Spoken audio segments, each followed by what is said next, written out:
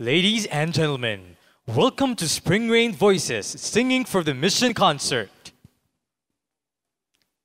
Let's give a round of applause for the Classic Youth Orchestra under the tutelage of Dr. Ray Abiliana.